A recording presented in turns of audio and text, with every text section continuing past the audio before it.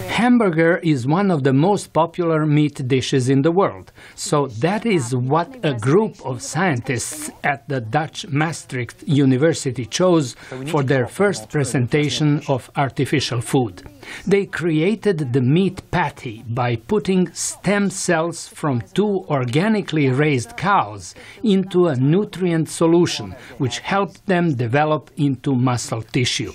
One of the volunteers who tasted it was Austrian nutritionist Hanni Rützler. There's quite some intense taste. It's close to meat. It's not that juicy, but um, uh, the consistency is perfect. The artificial hamburger still has no fat, an obvious factor in the taste, but it looks and feels like meat.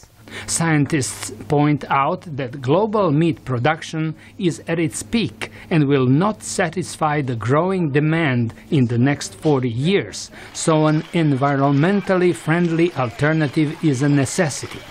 Monday's test is the result of more than five years of research and an investment of more than $300,000.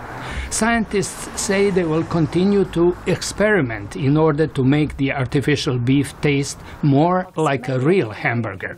Reactions from the public are mixed. Test tube meat, it's wrong, it's not right, these things shouldn't be going on. It's really, really disgusting. I think it's great because um, I don't think people should be eating meat.